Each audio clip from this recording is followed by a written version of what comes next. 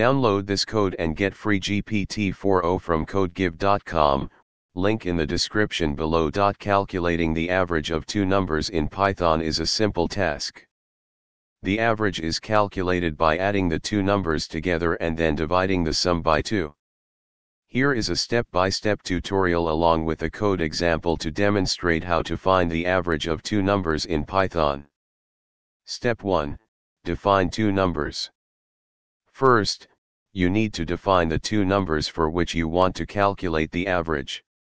You can assign these numbers to variables for easier manipulation. Step 2, calculate the sum. Add the two numbers together to get the total sum. Step 3, calculate the average.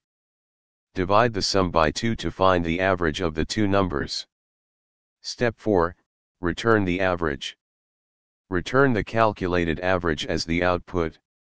Here is a code example to find the average of two numbers in Python.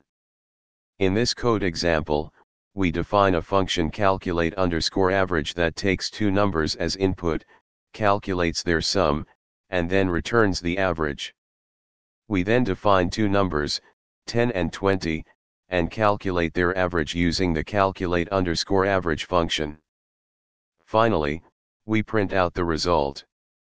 You can modify this code to calculate the average of any two numbers by changing the values assigned to number 1 and number 2.